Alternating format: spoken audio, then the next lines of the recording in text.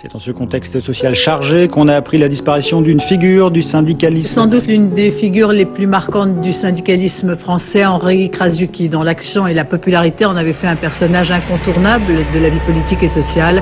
L'ancien patron de la CGT était un militant pair. Il y avait le parcours douloureux d'un homme qui a subi la déportation.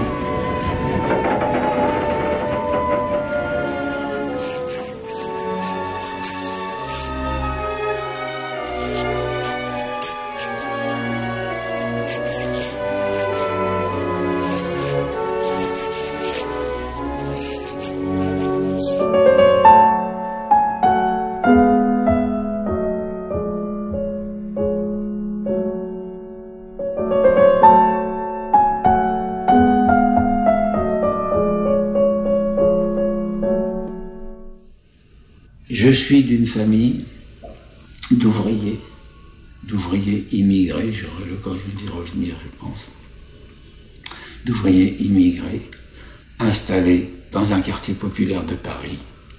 Mon père, euh, qui est né à Volomine, dans la banlieue de Varsovie, euh, est arrivé en France à l'âge de 4 ans. Les raisons de leur, euh, de leur émigration euh, en France, bon, il y a des grandes raisons. Le- la France, pays des droits de l'homme, pays de la, de la Révolution.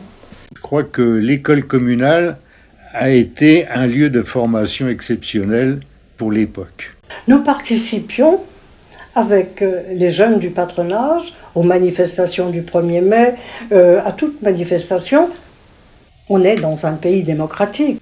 Les jeunes de cette époque ont vécu quand même des événements à la fois enthousiasmants, mais aussi remplis de beaucoup de menaces.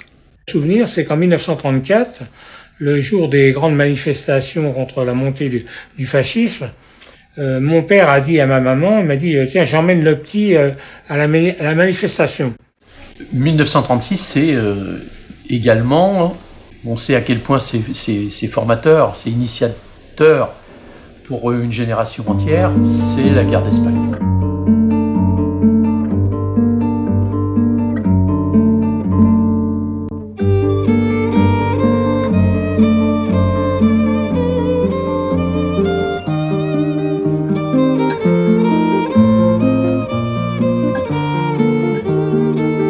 1936, j'ai quelques souvenirs euh, extraordinaires. J'habitais rue Hérard, dans le 12e arrondissement. C'était un quartier euh, très populaire. Et quand il y a eu le, le Front populaire, ce qui est extraordinaire, c'est que dans la cour où j'habitais, euh, tous les habitants ont mis des drapeaux tricolores ou des drapeaux rouges. La période enthousiasmante, ça a été le Front populaire. Nous vivions dans cette ambiance et le Front populaire a été une grande victoire sur le fascisme, mais aussi une ouverture fantastique sur le progrès social.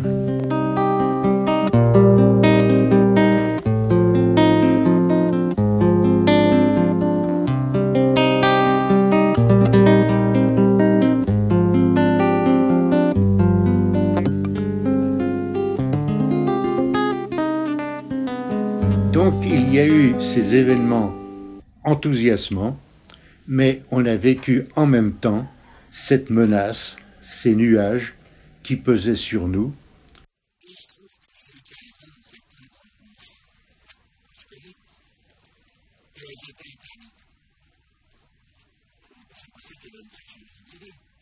Juin 40, les Allemands ont brisé la ligne Maginot, c'est la débâcle de l'armée française. À la suite de quoi, euh, nous n'avons pas suivi l'exode de la population de Paris.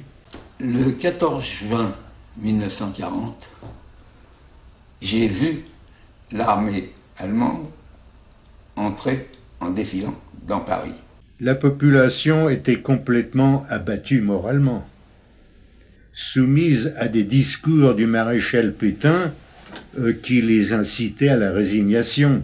C'est dans l'honneur et pour maintenir l'unité française, une unité de dix siècles, dans le cadre d'une activité constructive du nouvel ordre européen, que j'entre aujourd'hui dans la voie de la collaboration. Henri, euh, comme ces, comme ces dizaines de copains, vont se trouver pris dans la, dans la véritable toile d'araignée que sont les, que sont les filatures. Et le 23 mars au matin. Henri euh, bon, était suivi depuis longtemps et bon, la, police savait où il dormait. 7 heures du matin, il s'engage sur le boulevard Mortier et quelqu'un derrière lui tombe sur lui, lui le menotte par derrière, il est arrêté.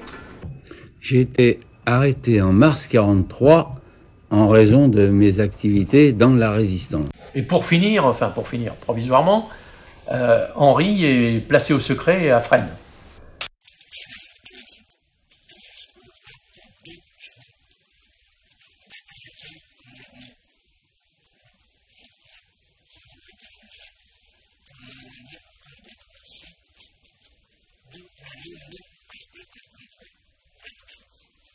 un bruit court. À Drancy, les bruits couraient très vite, ça se répondait. Il est arrivé de Fresnes trois personnes qui sont dans la prison de Drancy. Il y a un Henri Krasuki, il y a un Sam Radzinski. Donc, ils vivent. On n'avait pas de nouvelles. Eux ne savaient pas que nous étions à Drancy. Et nous, on ne savait pas où ils étaient, ce qu'ils étaient devenus. Parce qu'ils aimaient la vie et ils aimaient cette France dont les valeurs sont liberté, égalité, fraternité, nous interrogent sur ce qu'est l'identité française.